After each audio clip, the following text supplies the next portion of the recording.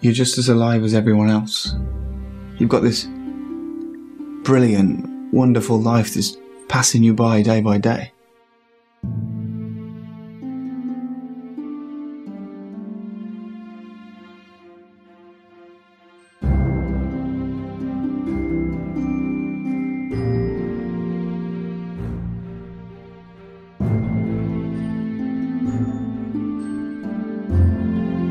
So you like the thought of me getting all buff? I like the thought of the massive coronary that's about to happen when you try.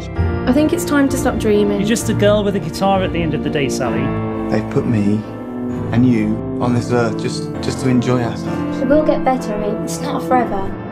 I should have known something was wrong. It's not what you think!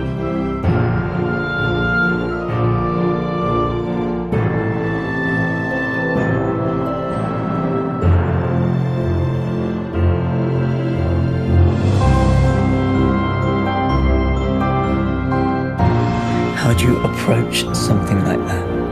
Knowing that it's going to devastate someone that you love. You're creating a scene. You're making an embarrassment of yourself. He's a friend, and I feel more closer to him than I ever did to you.